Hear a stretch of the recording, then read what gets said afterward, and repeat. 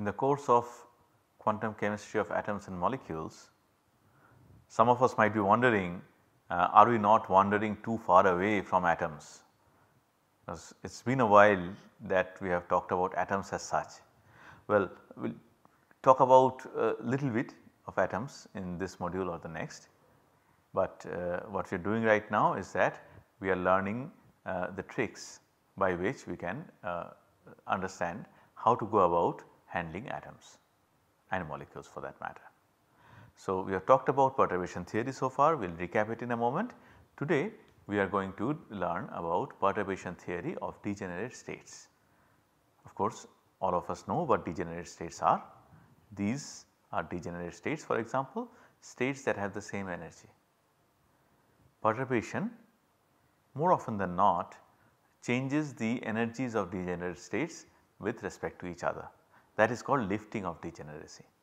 So, uh, you can think of such examples that you know say Zeeman effect or Stark effect application of a magnetic field or an electric field which changes the energies of orbitals that were earlier degenerate in such a way that they are no longer degenerate.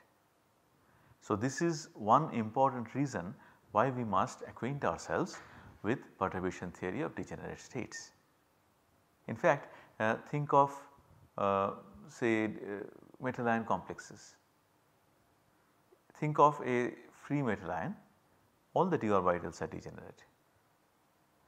The moment you bring in this octahedral field or tetrahedral field or whatever field the d orbitals split into 2 or more groups.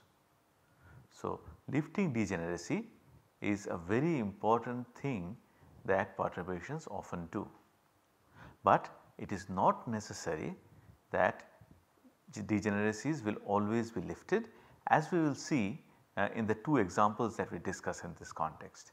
In one degeneracy will not be lifted at all, but the energies will be affected. In the other some of the degeneracies will be lifted like what we have shown here. So, in this schematic we have taken 3 energy levels and we are saying that some kind of a perturbation affects the system in such a way that in the perturbed system 2 of the energy levels have lower energy and one energy level has higher energy of course barycenter is same. Before we go there let us remind ourselves briefly about what the salient points that we have learned in our discussion of perturbation theory of non-degenerate states. So, first of all we have learned that you have to write the Hamiltonian as the unperturbed Hamiltonian plus a perturbation term. We have uh, written it in some other uh, form earlier. Now the form that we are hand, uh, dealing with sorry about that.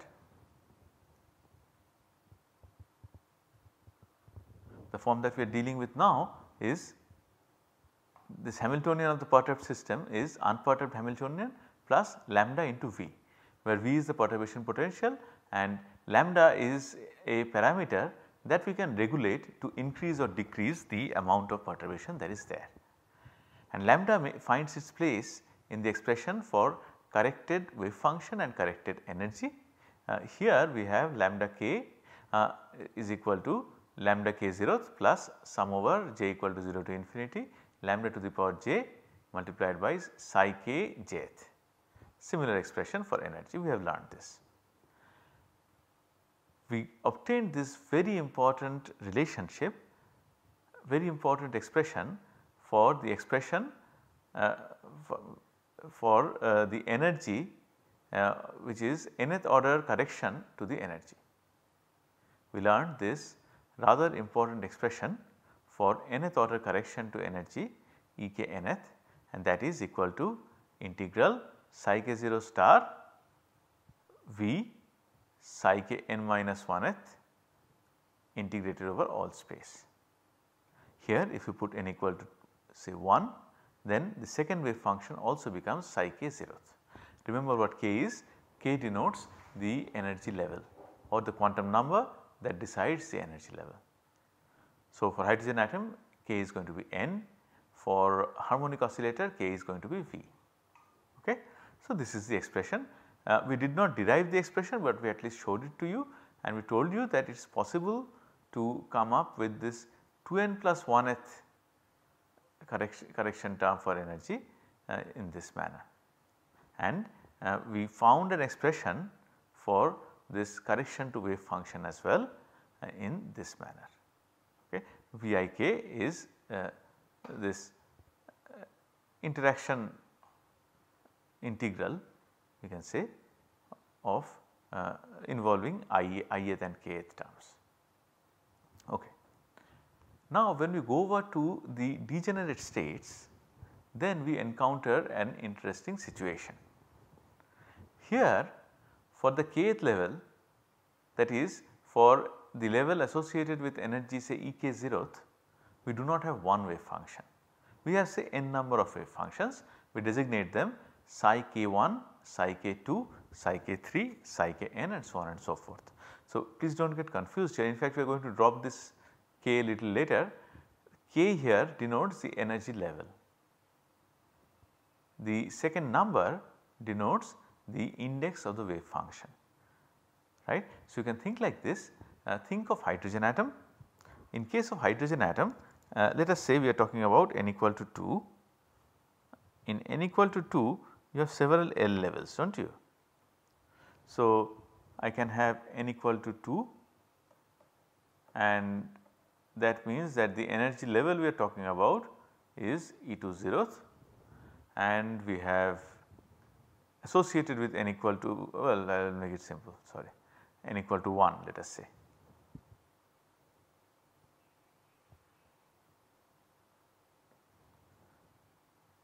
and we have to write too many terms if it is n equal to 2. So, I will change it to n equal to 1.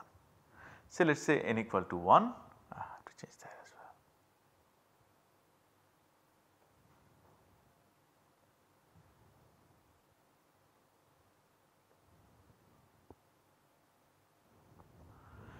So, for that we know that L is equal to minus 1 0 plus 1 right. So, how many energy states do I have, how many wave functions do I have, uh, yeah how many wave functions do I have that is better corresponding to this energy E1 zeroth. I have 3. So, I am calling them after this fashion psi 1 1 psi 1 0 psi 1 minus 1. If I write like this that means I am writing in terms of NL. So, this is the psi NL form or I could do something like this.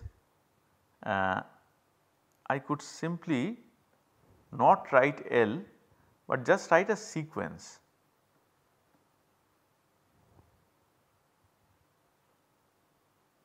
Can simply say psi 1 1, psi 1 2, psi 1 3. So, 1 2 3 are uh, well like roll numbers indexes for the wave functions here. So, what I am saying here is that uh, this minus 1 this is given the index 1 0 let us say is given the index 2 1 L equal to 1 is given the index 3 and so on and so forth. So, that is how we are writing ok. So, please do not get confused here. So, uh, all these n number of wave functions that I have written here actually have the same energy E k zeroth.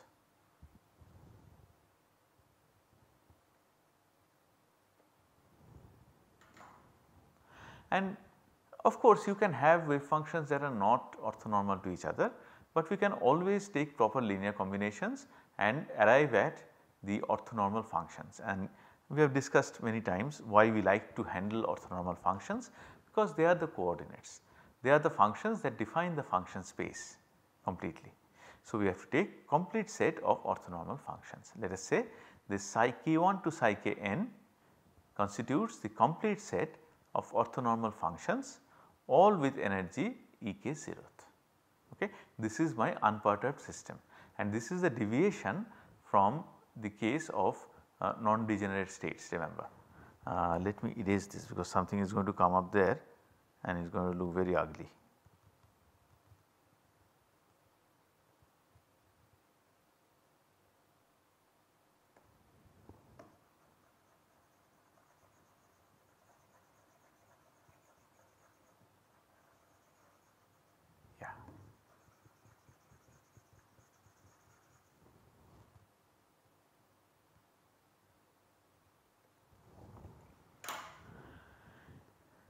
So, it is complete set of orthonormal functions and the problem now is that I am not allowed to write the expression I wrote earlier.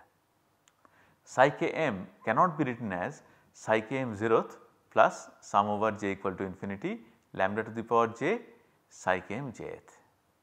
Why not? Because uh, these are all indistinguishable from each other. I do not see a wave functions right, I cannot see a wave function. How do I know which wave function I am handling? From energy because energy, energy is an experimentally measurable quantity. The problem is all these n number of wave functions have the same energy. So, uh, we are back to that which which is which kind of situation.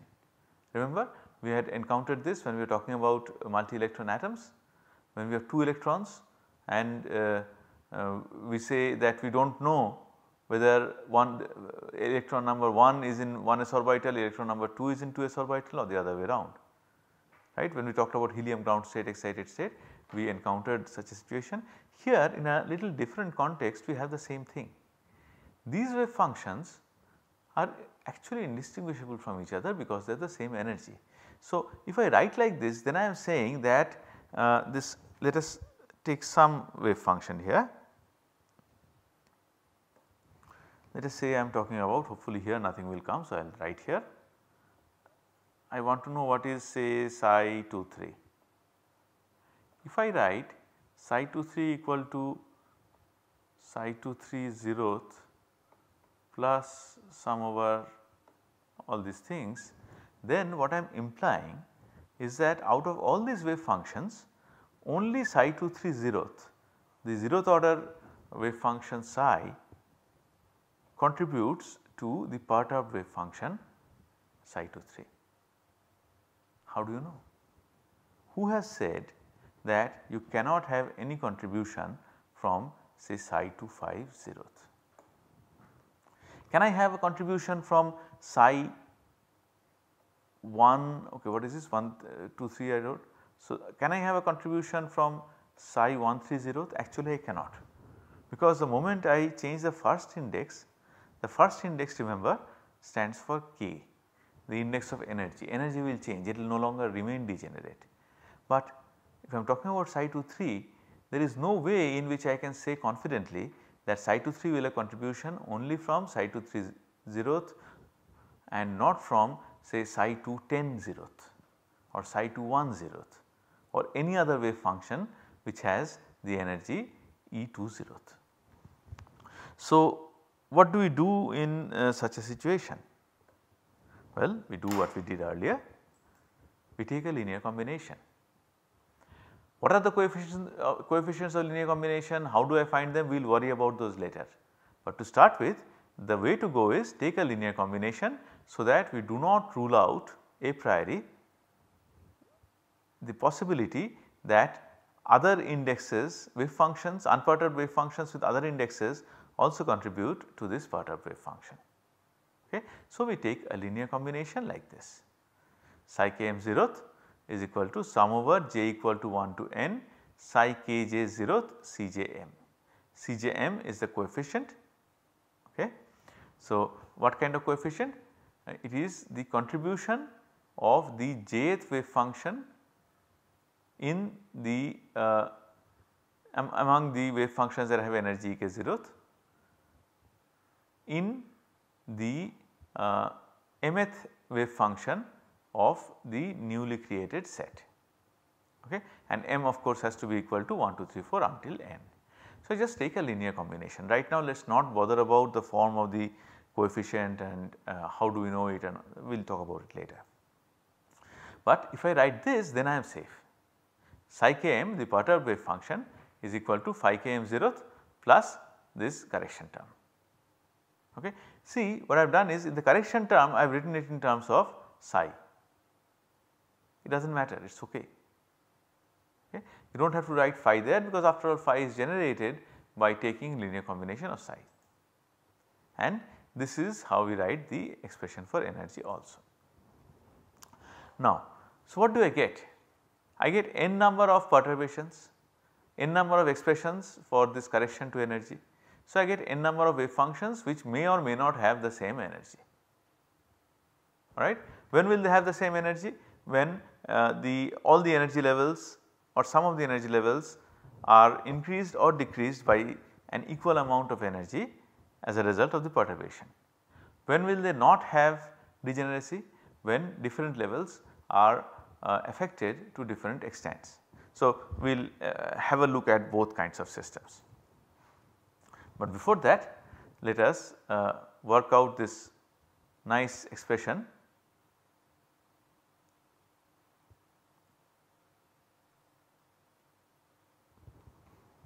Okay this is what we have.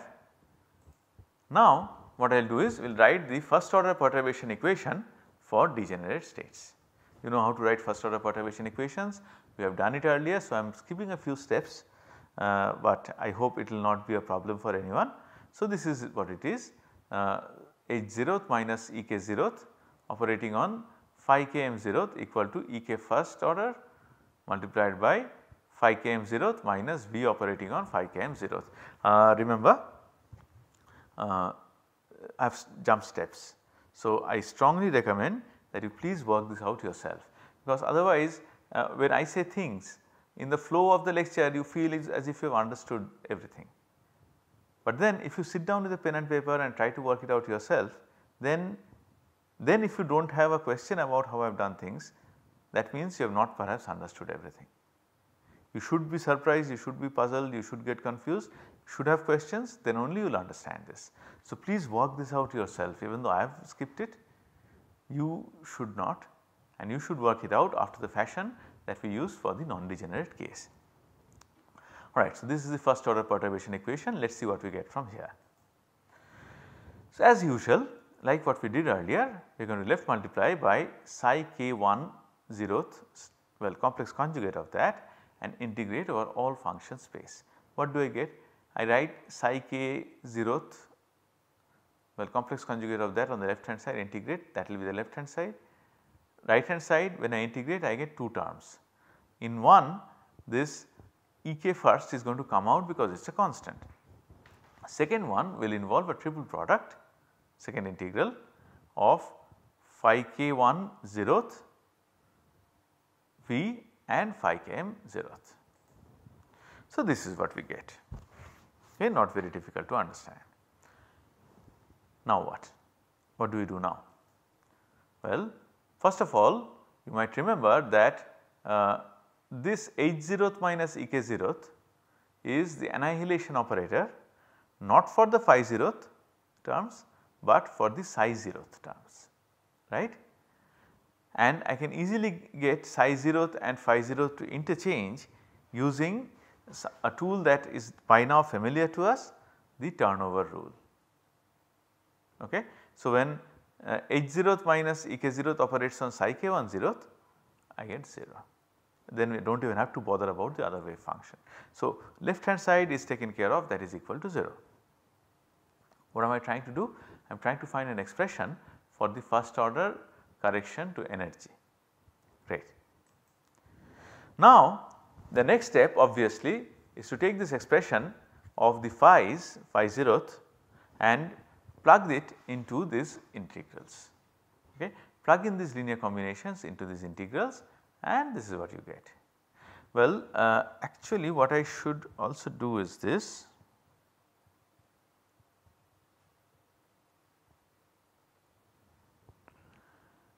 this coefficient is a constant right. So, it has no business being in the bracket. So, we will bring it outside the bracket, but we will not bring it outside the summation Please do not forget there is this CJM, J is there. So, if you bring out bring it out of the summation then it has no meaning. So, we will not do that we will bring it outside the integral but inside the summation. Next this one is going to become again uh, phi k m 0th is replaced by sum over j equal to n sum over j equal to 1 to n phi k j 0th c j m c j m is a coefficient. So, I bring it outside the integral, but not outside the summation sign alright. So, when we do that we get this uh, uh, well we have to remember something. We have to remember that these psis are actually your uh, I should have written zeroth everywhere please for, for, forget I mean please note that. But when we remember that these are actually orthonormal functions and when we plug them in then uh, what will we get? We will get something like this right. We will uh, get this well okay let us see what we will get. But before that we will repeat the operation for uh, 2, 3, 4 and so on and so forth. So, when we integrate over all function space this is what we get. We get n number of what are called secular equations. Okay. So, remember there is one summation over j right that gives you from left to right of an of the left hand side of an equation there is another summation over i let us not forget that. So, uh, this is what we get. Now how do I solve this? Remember uh, to make things simple we have written this as Vij and also we have written this first order correction to energy as x. Now I hope you see that this x here is multiplied by delta ij. Why? Because we are working with a complete set of orthonormal functions. So when i is equal to j then we are going to get 1 the integral will be equal to 1. When i is not equal to j then the integral is going to be 0. Which integral? This integral not this because here you have this v in between.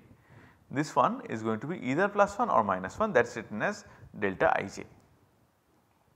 Okay. So now this is what we have got so far x equal to first order correction of energy uh, and we want to find a better expression for that. Great. So, as we said we have created this n energy levels some of which may or may not be generated. Now we write this n secular equations in the form of a matrix. Whenever we have a system of secular equations we always write it in the matrix form and uh, when we do that this is what you get. We get V matrix multiplied by C matrix is equal to C matrix multiplied by X matrix. What is V? V is the matrix whose uh, matrix elements are the perturbation terms Vij. So, see how beautifully this problem is gets formulated it becomes a matrix equation. So, Vij essentially i and j denote the position of Vij in the matrix V capital V. So, this perturbation takes up these uh, ij positions in the matrix. C's are called the eigenvectors. Uh, if you want to know more about eigenvectors, uh, please go through our lectures on group theory in chemistry. So, eigenvectors, eigenvectors are essentially coefficients. So, the coefficients are the components and capital X turns out gives us the values of the first order correction to the kth level energy right and this is also diagonalized. So, beautiful form can be solved by many different techniques uh, no worries really. Now the field is set for discussion of uh, two examples that we are going to do next day. But before that the salient points first of all the uh, degenerate states are such that several uh, eigenfunctions can actually have the same energy. So, you cannot express a perturbed wave function as a an unperturbed wave function just as just like that plus the correction term. You have to generate a linear combination of the unperturbed wave functions from where we are going to begin because there is no saying which unperturbed wave function has contribution in which perturbed wave function. It is not just uh, if wave function and its perturbed form. They are indistinguishable. So, many can make contributions that is point number 1. Point number 2 is uh, when you uh, accept that you are going to get this very nice uh, matrix equations in which these x values are going to turn out to be the uh, x values here first order correction to energy. So, that is where we stop this module today. In the next module we are going to discuss hopefully uh, two examples. One is non-rigid rotor, the other is uh, Stark.